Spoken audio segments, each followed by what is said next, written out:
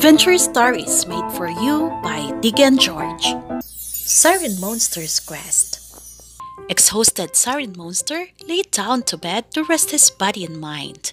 It was almost a long time since he had been home.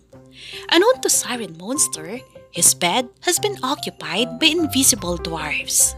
These dwarves, according to folklore, are members of mythical race of short and stocky human-like creatures who possess magical power.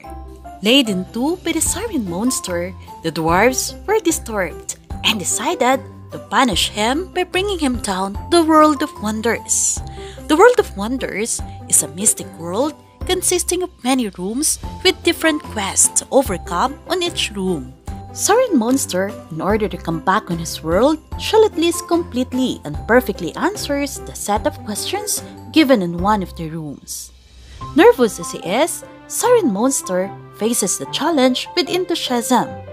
Thinking that the smallest door offers an easiest quest, he chose and entered the same. There, he saw the mystic various shapes on different colors. Siren Monster had chosen the Room of Shapes. The shapes comprise of the circle, triangle, square, star, and rectangle. In starting the quest, the shapes simultaneously utter the rhyme. All the shapes are here today. They love to jump and they love to play. They're having such fun and they're sure to stay. But who I am? The circle the planets revolved on, asked the circle. Siren Monster thinking of his recent space adventure, knew that it was the sun. Indeed, it is the sun, a circle in shape of which the eight planets revolved on. Came again the rhyming song of the shapes and of the question. But what I am, the triangle that protects you from the rain and the sun? asked the triangle. Siren Monster thought of an umbrella and of the roof. By answering both, the God of Wonders accepts it, as they are both of triangle shape. The shapes then continued, and the square asked, But what I am, the square that you love to be, the happy you smile and frown away. Siren Monster had a hard time answering it, but associates the same to reading, and he answered for a book.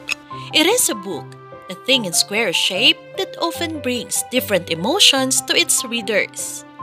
Down to two questions to go, the shapes continued, and the star asked, But what I am? A star that is not a fairy, yet you utter a wish.